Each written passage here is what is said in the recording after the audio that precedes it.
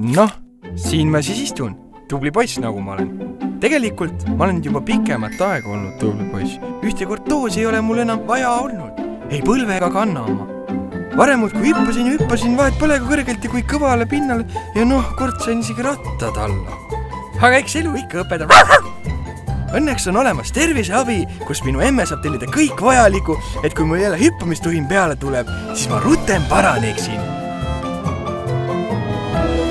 ka sinu väike lemmikloom paraneks rutem. terviseabi.ee